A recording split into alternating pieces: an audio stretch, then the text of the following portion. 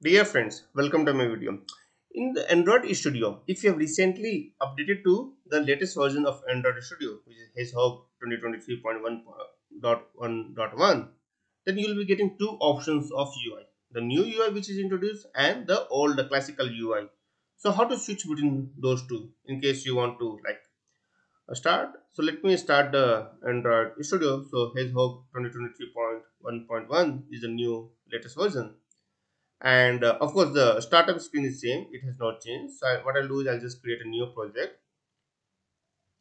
And i'll leave everything as it is. Just finished because i want to get to the android studio the ide and uh, ui yeah so the ui what you're seeing right now in the screen in the startup screen is the new one.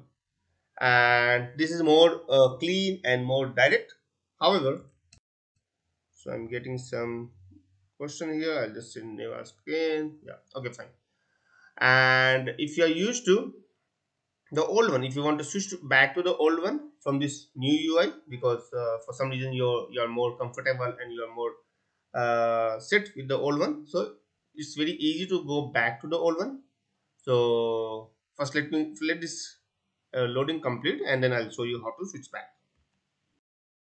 So environment is loaded now and if you see uh, uh, most of the stuff are as it is. However the toolbar and everything has been made made more concise. So everything has gone into the uh, top bar itself the title bar itself and everything is like uh, more of an icon and it gives you more space in terms of your coding and all. Now let's see how you can switch back to the old one. So you just go to this settings uh, option here and switch to classical. And you may have, you will have to restart. So click on restart. It will take a while to restart um, but yeah it will switch back to the classical UI the previous the old style of doing it. So the environment is loading up. So let's wait for it to completely uh, load. So environment loaded up the older style. So if you're used to this old way of doing you can still they give that option. Where you get more of uh, like uh, all these uh, visual things here.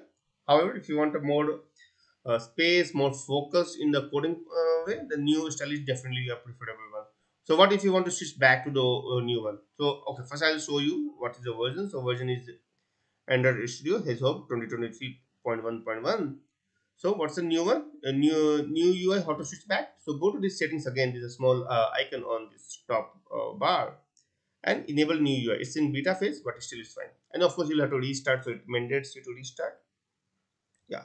But to be honest i'm liking the new ui i'll be i'll continue using the new ui unless you have some uh, specific things you do in a classic ui uh, i will recommend that new ui is much better much more focused and more streamlined for uh, working on your code.